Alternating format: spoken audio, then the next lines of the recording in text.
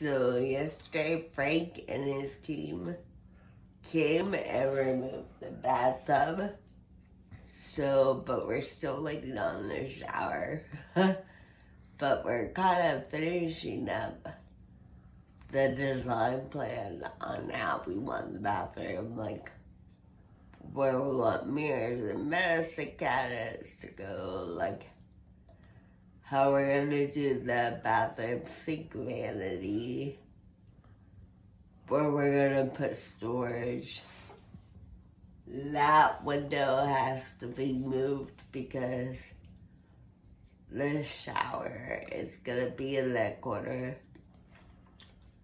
So yeah, we're just kind of finishing up the, design process right now and we're gonna put everything in like all the fun parts about doing your own bathroom. And this is the old garden tub that was taken out. It's got some kind of cracks where the, the structure was uh, attached or whatever. It, it, possibly could be reused, donated or something, but or we might could put some UV paint or something on it and make a a little goldfish pond or a garden, uh, water garden, or or maybe just a raised uh, plant bed on it. I don't know what we're gonna do with it. They yet. also put the finishing touches on my closet, so I just wanted to show you guys it before I add all my clothes back in. So we painted it. Um, Frank and his volunteers, you know, recessed that wall. They they used the existing shelf that, that was already there and they put another piece of board where the recessed area is. And when I came home, I actually put the uh, sturdied that up, tried to level it the best as I could, and mm-hmm. put the uh, rods there that hold the clothes. We still have to do the floor once we get some flooring to somewhat match this existing floor. And Frank is going to put in a light switch there. So one of the things we would like to do is probably to extend the shelf on this extended uh, existing shelf and go to the wall here.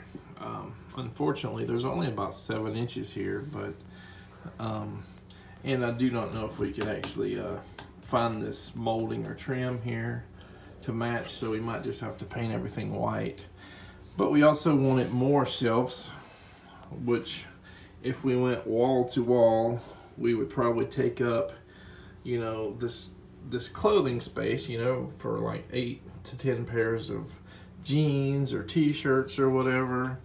So we might just go down the middle of the wall and just put two or three shelves there. So we would have a min minimum of three shelves with this one that, you know, matches here. Maybe four. Um, because the wall is not super wide here. It's like seven inches. I'm not sure exactly what we could put up there, but something, small stuff. Yeah, um, when you do wheelchair accommodations, we say this a lot, you lose space when you make roll under counters, roll under this, roll under sinks, you know, so you try to maximize the space you get back when you do those accommodations.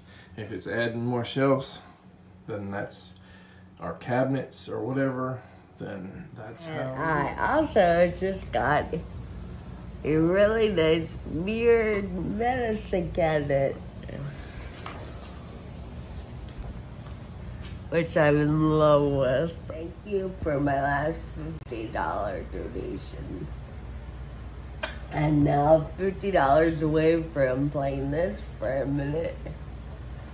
And 150 away from another Q&A. Thank you guys. Keep it coming.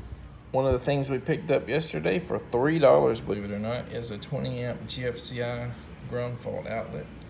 What is really strange about it is it doesn't have the T-prongs. And I looked it up over and over again saying, is this really a 20 amp? But it's written all over the outlet that is 20 amps. So it may be industrial or it may be uh, like a, an older one. But the good news is we tested it and it works. I already put um, something electric on it and tested it, made sure it worked. And this will be used for the uh, washing machine. And just like that, the tub was gone.